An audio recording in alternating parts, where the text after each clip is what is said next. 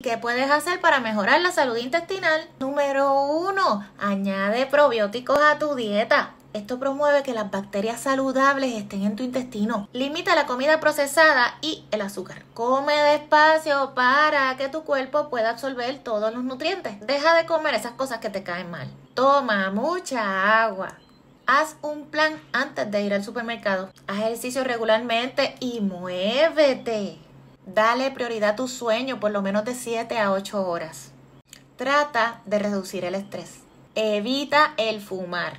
Y la más eficaz, hazte una limpieza intestinal que vaya de la boca hasta el ano.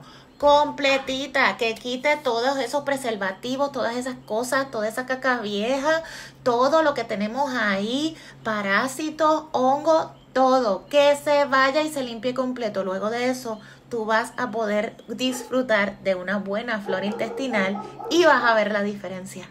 Y para mantenerte, Unimate y Balance. ¿Qué más? Mi nombre es Carmen Vida y quiero ayudarte. Contáctame